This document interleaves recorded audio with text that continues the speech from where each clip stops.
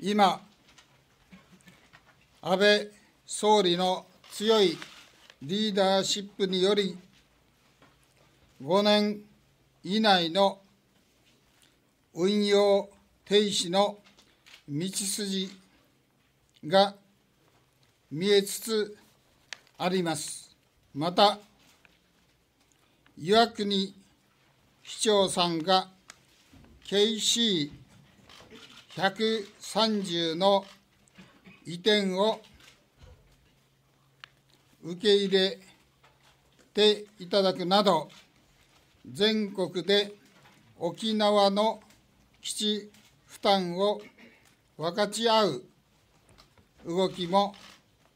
出始めていると思います。このような動きは、まさしく私の公約に合致しているものと考えます。政府はこのような流れを加速させるよう全力を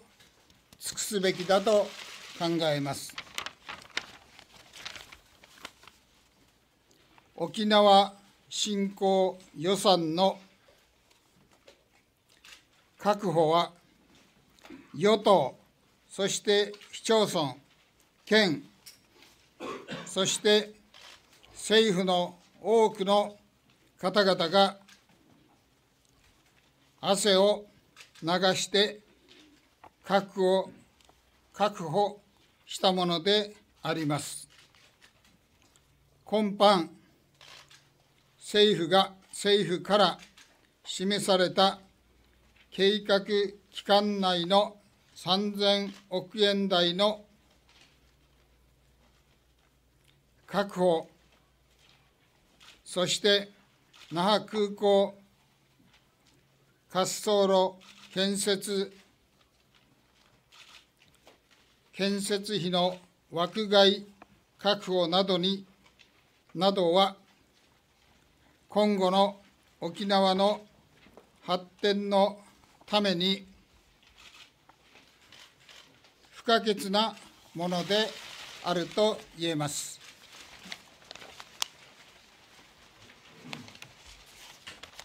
もう少々お待ちくださいね。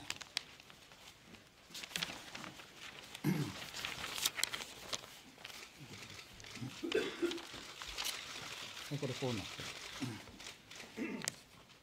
一方、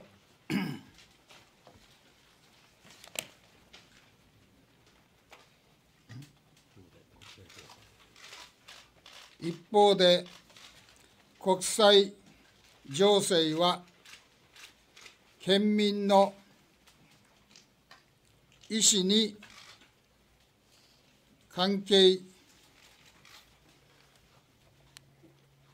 関係なく緊張していると認識いたしております。沖縄は一定の役割を果たさなければなりません。しかしながら、過重な基地負担は不公平であり、全国の問題として軽減されるべきものとも考えております。いずれも重要な政策課題であり、いかに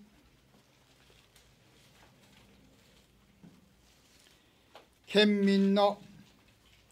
利益を考え、実行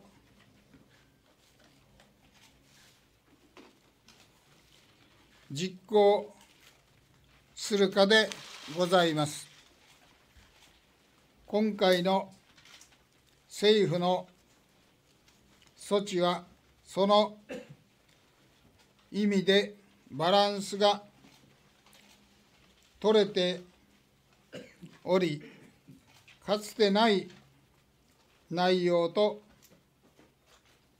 申し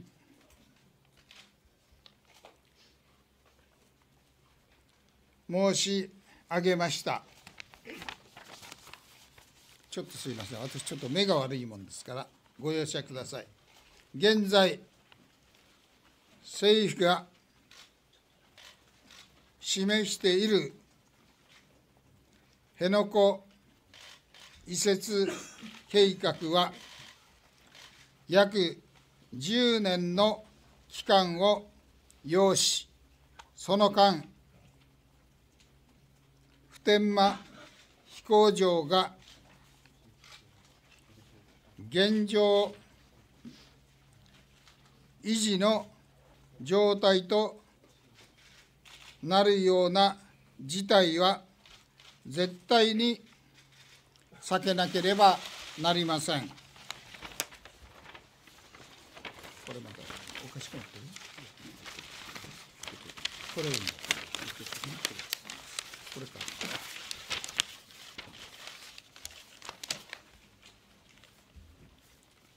このため、県外のすでに飛行場のある場所へ移設する方が最も早いという私の考えは変わらず辺野古移設を実行するにあたって暫定的に暫定的であったとしても考えうる県外移設案をすべて検討し5年以内の運用停止を図る必要があると考えます。